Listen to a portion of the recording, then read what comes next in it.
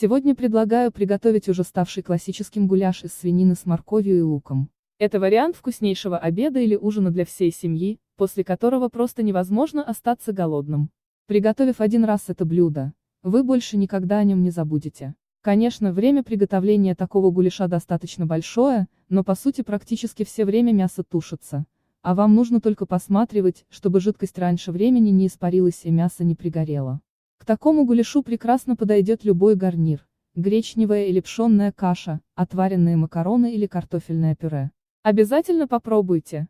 Свинина 600-700 грамм, морковь 2 штуки, лук 1-2 штук, чеснок 3 зубчика, лавровые листья 2 штуки, мука 1,5 столовые ложки, томатная паста 2 столовые ложки, соль по вкусу, перец душистый молотый по вкусу. Масло растительное, 1 столовая ложка. Количество порций, 3-4. Подготовьте все необходимые ингредиенты. Готовить гуляш можно на сковороде, в мультиварке или в казане.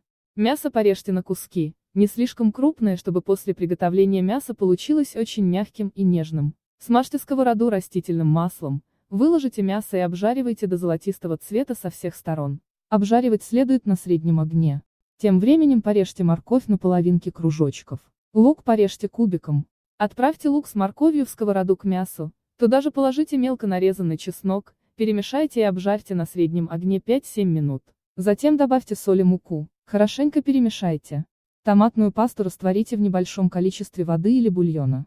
Влейте полученную жидкость в сковороду, добавьте еще воды, чтобы она покрывала мясо и оно тушилось. Также в сковороду добавьте лавровые листья и перчик. Тушите гуляш под крышкой на огне меньше среднего, примерно 60-75 минут, чтобы мясо стало очень мягким и легко разламывалось ложкой. Гуляш из свинины с морковью и луком готов. Приятного аппетита!